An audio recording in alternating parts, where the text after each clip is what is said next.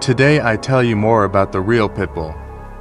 After their boom in the 80s people fell in love with the real thing. This breed's ability to be very kind, but also be capable of doing maximum damage to other creatures, such as other dogs and animals.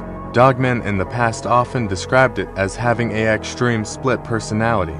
This is why majority were good with kids, however they are not nannies. But, do not be fooled because that isn't the only side to them. These dogs were designed to be killing machines and excel in any blood sport activity even till this day. The style of never giving up and even continuing to fight even if you are losing with the mindset that you are winning is why this dog is the lost American idol. These are the dogs of velvet and steel.